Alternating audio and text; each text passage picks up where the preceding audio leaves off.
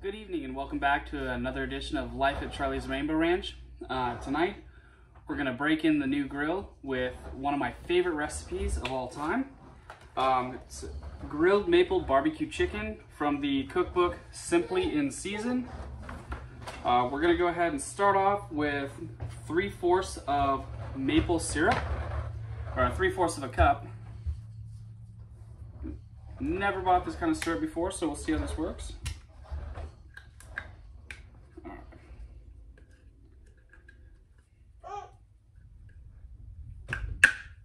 There we go.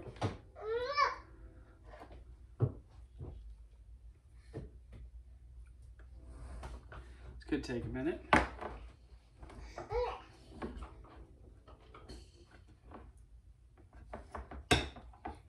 All right.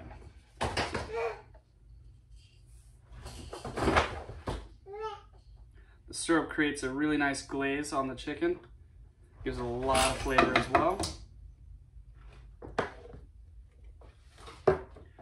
After we get the syrup on, we add our um, apple cider vinegar. This one is with mother. mother. Um, do not make the mistake of using the detox version. Um, it's very unpleasant afterwards. And then we've also got um, any kind of oil you want. I like to use um, extra virgin olive oil. Charlie, what are you doing? Nope. Those back. Eat your snacks. Eat your snacks. Okay, someone's getting a little bit excited on the reading part of it. Okay, for the apple cider vinegar, we're gonna go ahead and do three tablespoons. Only got a half tablespoon here, so we'll go ahead and add six of these.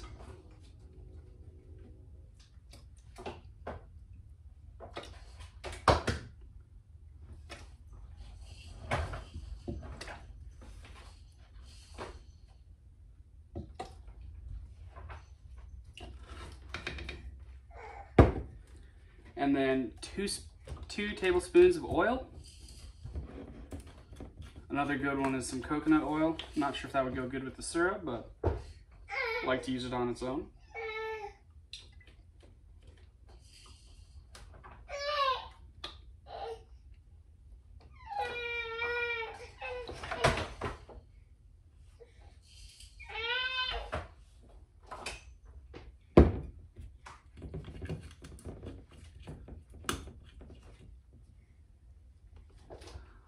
From there, we add one fourth a teaspoon of onion powder. It is usually a little bit better with um, actual onions, but feeling lazy tonight. So, a fourth a teaspoon.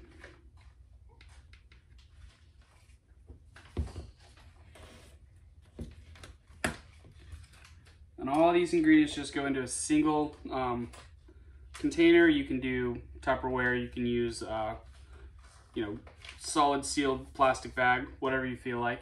Um, just make sure there is enough room to put the chicken in later. Now we've got a half teaspoon of salt.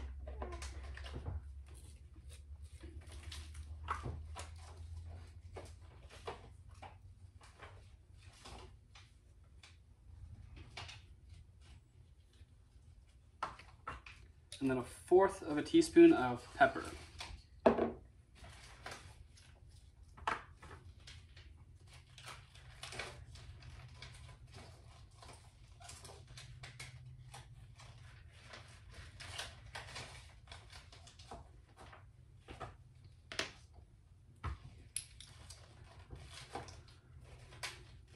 Okay, from here, we're gonna go ahead and blend all those ingredients together. Um, Shake it for just a little bit.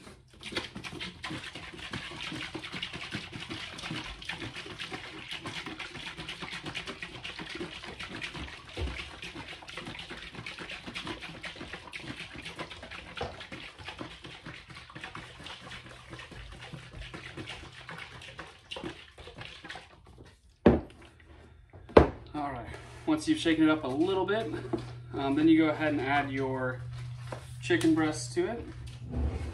You can use chicken breasts, thighs, legs, anything you want. Um, it's pretty good on any of them.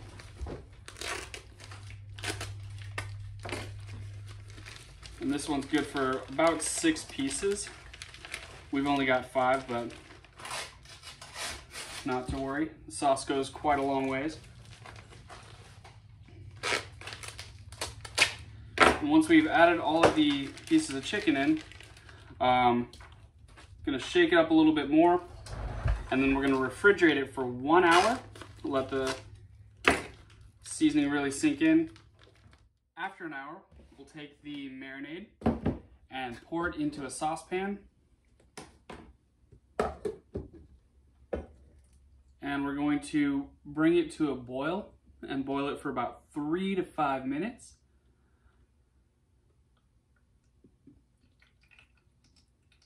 After that, we're gonna throw the chicken on the grill and we're just going to brush the marinade on the chicken and uh,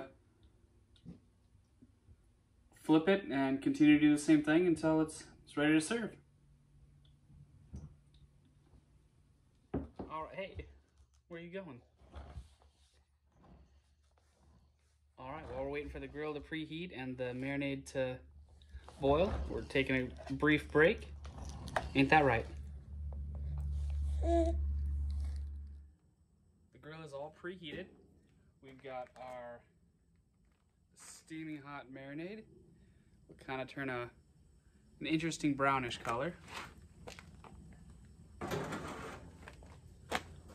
go ahead and pop the chicken breasts on the grill here.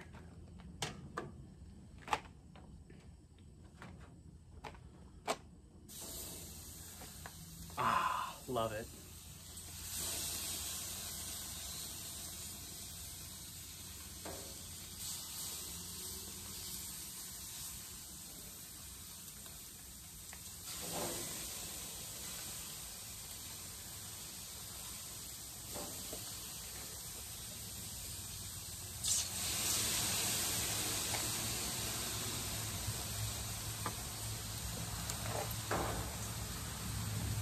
Got a little brush here to base the sauce on.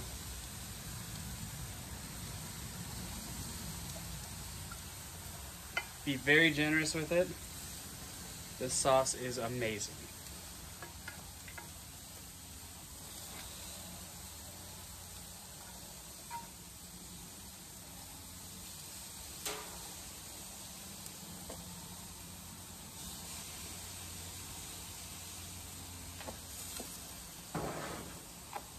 We'll come back here in a few minutes and uh, quarter them, and then we'll go ahead and add some more marinade to it before we flip them. Let it cook for a couple more minutes, and then we'll go ahead and flip it.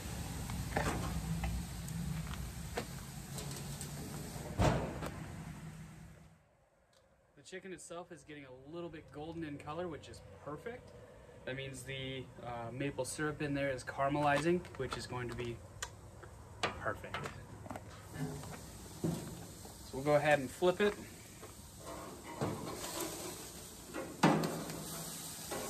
Ah, nice. Perfect looking grill marks.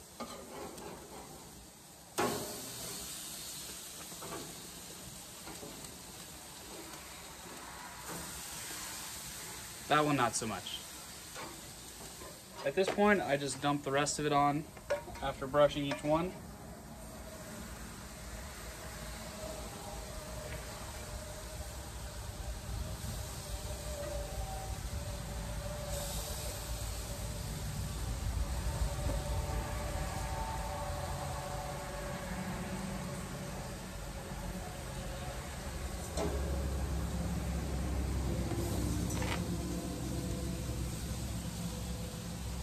Back the other way. If there's any excess.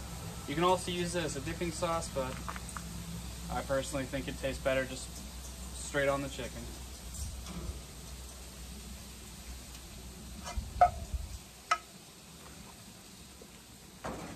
Give it just a couple more minute, minutes, then we'll temp it. I think we're all set. Last thing we want to do before we take them off the grill here is to make sure that it's safe to eat.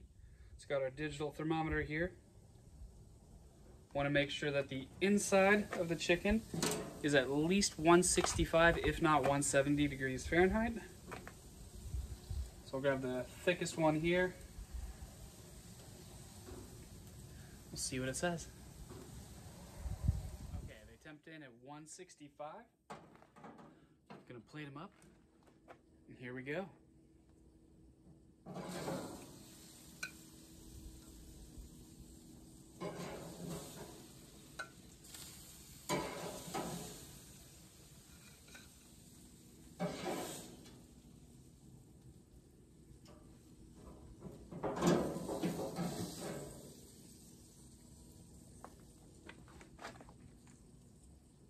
Looks like we're all set. Thanks for tuning in to another episode of Life at Charlie's Rainbow Ranch.